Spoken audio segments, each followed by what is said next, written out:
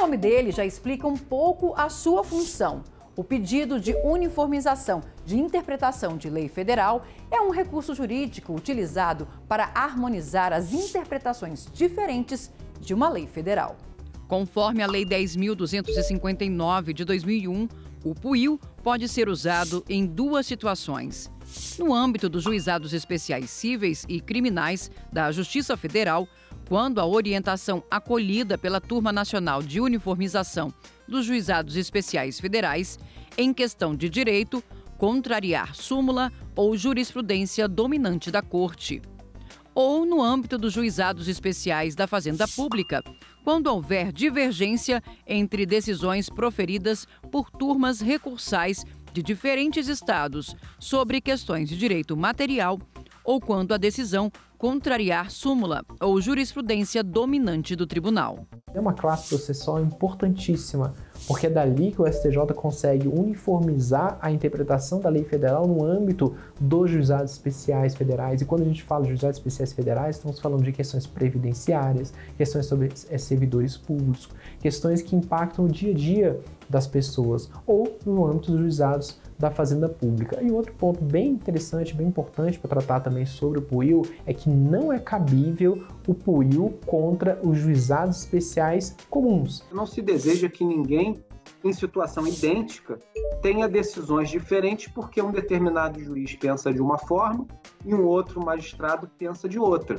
Isso não é um, um, uma regra de justiça, uma regra de segurança jurídica.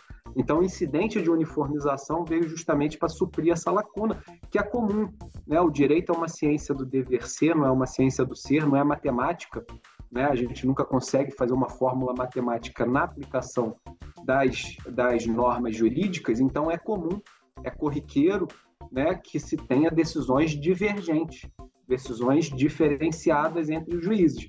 Mas ao Superior Tribunal de Justiça, quando chega uma determinada tese ao Superior Tribunal de Justiça, lhe cabe justamente fazer isso. Eu vou uniformizar a partir desse momento a jurisprudência nacional, de modo que os demais tribunais, inclusive as turmas recursais, sejam elas em âmbito federal, sejam elas em âmbito estadual, possam seguir aquele entendimento consolidado pelo órgão constitucionalmente é, habilitado a fazer essa uniformização. Mas é importante ficar atento. Em ambos os casos, o pedido não pode ser dirigido diretamente ao Superior Tribunal de Justiça. E é bom até a gente esclarecer que o pedido de informação de interpretação de lei, ele é interposto no âmbito dos juizados especiais, então lá nas instâncias de origem.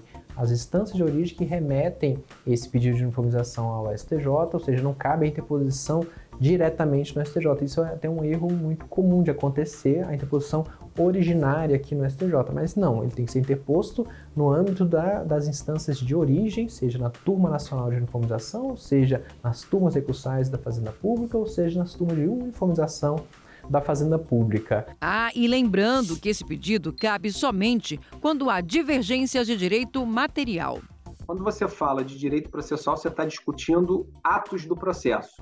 Então, eu estou discutindo uma questão de competência, eu estou discutindo uma preliminar, eu estou discutindo se um determinado ato praticado pelo juiz é nulo ou anulável, eu estou discutindo é, se existe uma exceção de, por exemplo, suspeição. Tudo, tudo isso é direito processual, é o que toca ao andamento, ao fluxo do processo.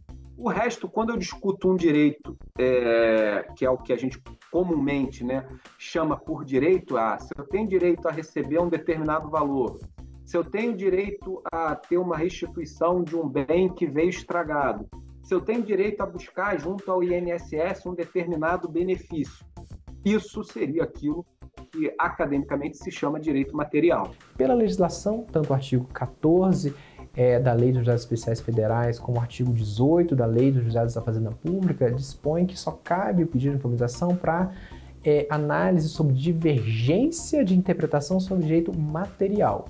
Mas isso não significa que os juizados especiais não devem cumprir as, a, os entendimentos do STJ sobre a legislação é processual, pelo contrário, eles devem sim cumprir. No STJ existe uma unidade responsável pela atualização e organização dos pedidos de uniformização de interpretação de lei federal em tramitação e já julgados pela Corte.